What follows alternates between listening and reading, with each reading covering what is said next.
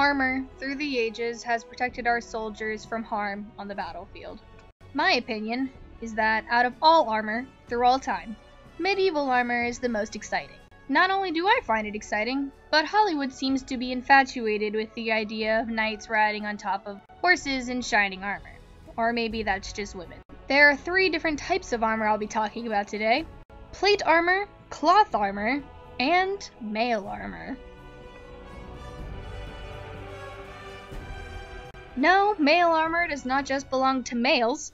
It is actually a type of armor made out of a series of rings connected together. This is not actually mail armor, but since I didn't have time to actually make real mail armor, this was what I got. However, mail armor was quite similar to this. It was just chains of rings linked together in a sort of interwoven pattern.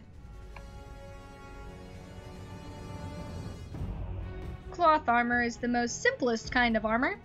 It's basically just padded cloth. It was probably the first form of quilting, however, because you quilted canvas together with other material. Often worn with cloth armor was leather armor, which had two varieties, one which was boiled till it hardened, and one that had metal implants.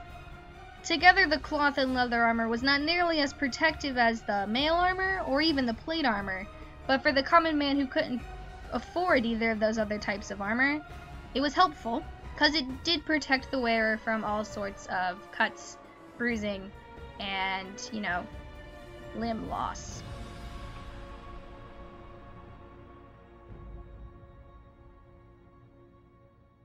The most complicated and most expensive form of armor was plate armor. This is a horrible representation, but since I don't have full suits of armor laying around my house, this was the best I could come up with. The front plate is called the breastplate, the back's called the backplate. The wonderful thing I'm wearing on my head is called a helmet. Um, there were many other pieces of the plate armor. The tinfoil on my arms represent the vambraces, which would protect the forearms. The pieces on my feet represent the sabatons, which would protect the feet from harm. There was also the pauldron, which would protect the shoulder, the tasset, which would protect the upper thighs. There were gauntlets, which would protect the hands. And there were gorgets, which would protect the neck. Thank you for watching, and I hope you enjoyed learning about medieval armor as much as I did.